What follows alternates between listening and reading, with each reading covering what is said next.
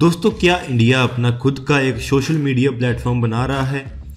जी हाँ ऐसे कुछ सवाल उठाए जा रहे हैं, क्योंकि हाल ही में पीएम मोदी ने एक ट्वीट किया है, जिसमें उन्होंने कहा है कि वो अपने सभी सोशल मीडिया प्लेटफॉर्म्स को छोड़ देने का सोच रहे हैं। और उन्होंने कहा है कि इसके ऊपर वो अपना अंतिम फैसला रविवार तक ले लेंगे।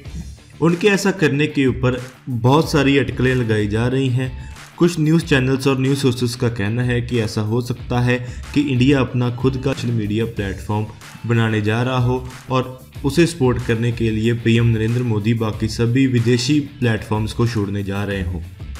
जहाँ पर आपको बता दें कि इंडिया के पास कोई भी देश में बना हुआ सोशल मीडिया प्लेटफॉर्म नहीं है और इसके साथ ही इंडिया के पास कोई भी लोकली बिल्ट सर्च इंजन भी नहीं है। इससे पहले इंडिया की डिफेंस फोर्सेस या इंडिया की सिक्योरिटी इस्टेब्लिशमेंट ने ये इशू उठाया था कि इंडिया का सभी social media data western countries में मौजूद सर्वर्स में स्टोर किया जा रहा है और इंडिया में मौजूद सर्वर्स में ऐसा डाटा स्टोर नहीं किया जाता। और बीच में खबरें ये भी आई थी कि इंडियन गवर्नमेंट ऐसा कंपनीज़ को कह सकती है कि वो अपना सारा डाटा इंडिया में ही स्टोर करें। इंडिया का डाटा दूसरे देशों में स्टोर होने के साथ ऐसी कोई गारंटी नहीं मिलती कि उस डाटा का मिसयूज़ नहीं किया जा रहा है। तो इसलिए एक इंडिया का खुद का ऐसा प्लेटफॉर्म होना एक बहुत अच्छा कदम है। जैसे कि आप सब जानते हैं कि चाइना ने भी ऐसे प्लेटफॉर्म अपने देश के शुरू किए हुए हैं और वो उनको ही सपोर्ट करता है और वहाँ की गवर्नमेंट वेस्टर्न प्लेटफॉर्म्स को सपोर्ट नहीं करती है।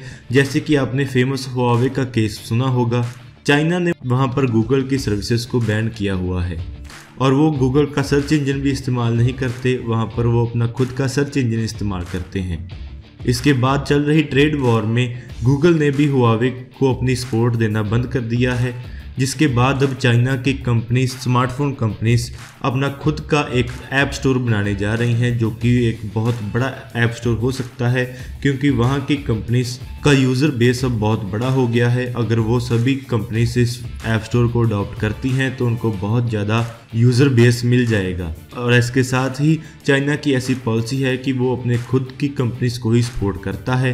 अगर इंडिया, चाइना जैसे ही कदमों पर चले और अपने इंडिया की कंपनीज़ को ही सपोर्ट करे तो वो दिन दूर नहीं है कि इंडिया इस सेक्टर में भी अपनी बढ़त बना लेगा और वेस्टर्न कंट्रीज़ को पीछे छोड़ देगा, क्योंकि इंडिया के पास बहुत बड़ी पॉपुलेशन है और अगर खुद हम अपने सिस्टम्स को सपोर्ट करें तो इंडिया कहाँ का कहाँ पहुँच सकता है। तो दोस्तों, आज की इस वीडियो में इतना ही। Please like share and subscribe अगर आपको ये वीडियो अच्छी लगे तो आप इसको ज़रूर लाइक और शेयर करें। Thanks for watching this video जय हिंद, वंदे मातरम।